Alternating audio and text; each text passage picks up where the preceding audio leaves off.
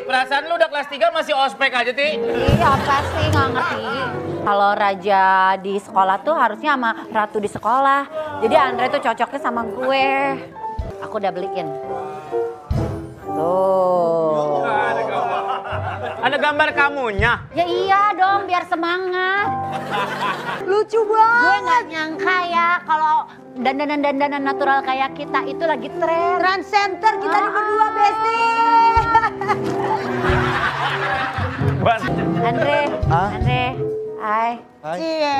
Dari tungguin nih sama keong racun.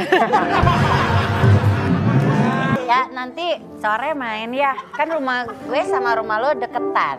Gue mau pindah. Ya jangan dong.